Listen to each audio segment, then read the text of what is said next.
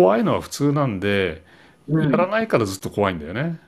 やったら、ああ、そんなでもなかったかとか、もういいやってなるんだけど、やらないからずっと恐怖が続くっていう。うん。怖いからできないっていうけど逆だよね。やんないから恐怖が続いてる。その、私怖いけどやるんですよ。まあ、それが普通、普通っていうか、本当はそうだよね。うん。うん。でやっちまってる人ってそんな恐怖をないからできるんやろと思わはると思うんやけど、うん。いや、めっちゃ怖いし、私も。まあ、で、そういう多いんじゃない？